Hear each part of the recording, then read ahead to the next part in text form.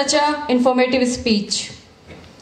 Now, I would like to invite Dr. Aftab Ahmad to come on stage and give introduction on biosafety awareness in biolabs.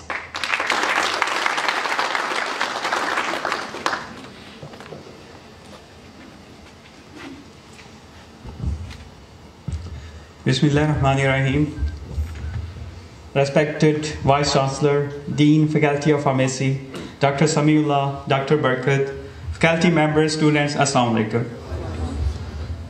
Well, I'm really delighted to be here at this university because uh, this is my first visit and I'm really impressed by the campus because it's really green and uh, Dr. Barkat was uh, telling us on the way uh, coming to this hall that it is uh, through the vice chancellor that he has a vision to who has transformed uh, this university from a place like a jungle to in a beautiful uh, green campus. So it's, it's really great effort by the vice chancellor.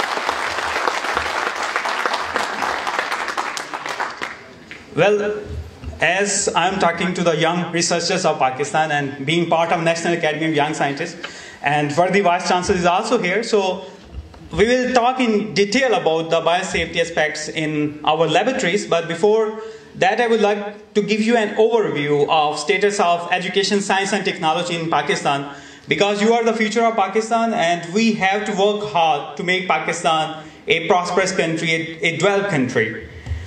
Well, you, you are very much familiar that once there was an agricultural revolution that resulted in different civilization and there were few civilization here in this part of the world.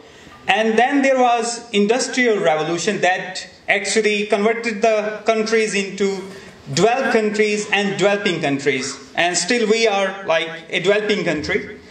And presently is the era of information, is the era of knowledge. And those countries who are putting more efforts in education, science and technology, they are the leading countries in the world. And I will give you several examples that how knowledge has transformed different countries and why different countries are actually lagging behind and how we can take the pace and we can also be a developed country in the world. Like you are from the pharmacy department and you are very much familiar that there was treatment of hepatitis C, for example, and recently a drug came that has revolutionized the treatment. And you know the annual sale of that drug, that drug is also available in Pakistan. So the annual sale of that drug named Sovaldi was 11 billion US dollars.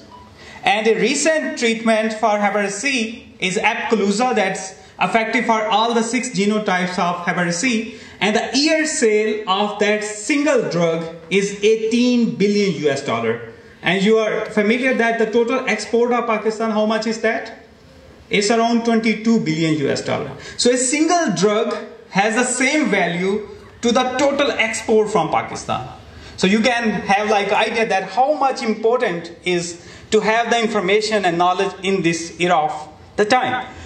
If we talk about some of the application, for example, we use for communication, WhatsApp, everybody use that. The, the sale of WhatsApp, the single application was 19 billion US dollars. So a single application has the worth equal to total export from Pakistan. I was, last year I was in Singapore, I couldn't join this year uh, in one of the summit for the young scientists. So I, I will give you an overview like where Singapore is standing and where we are standing in Pakistan. If we talk about the total population of Singapore is just 5.5 million. The total area of Singapore is 719 square kilometers. And what is the population of Pakistan? 200 million population and total area is 7,96,095 square kilometer. So is there is a comparison between Singapore and Pakistan? So the 5.5 million population, we have 200 million population. That is 719 square kilometer area, and we have 7,96,950 square kilometer area. And now you have a comparison about the total import and export from Pakistan and Singapore. The total export, as I mentioned, is around 22 billion US dollar last year, and the total import from Pakistan is around 44 billion US dollar last year. And you know how much was the total import and export from Singapore? It's a very small country. The total export from Singapore was 519 billion US dollar and their total import was 464 billion US dollar. So is there is any comparison? So, is if a small country based on information, knowledge, science, and technology can contribute that much without any natural resources, Pakistan is really a blessed country with so many natural resources with such a huge human resource because we have a like, huge youth population how much we can contribute for the economy of pakistan.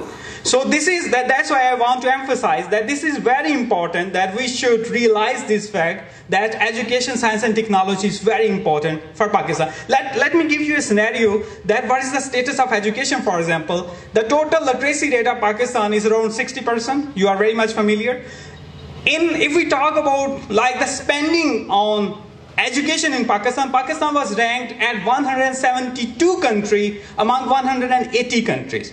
If we talk about the higher education, we are standing at 124th position among 145 countries.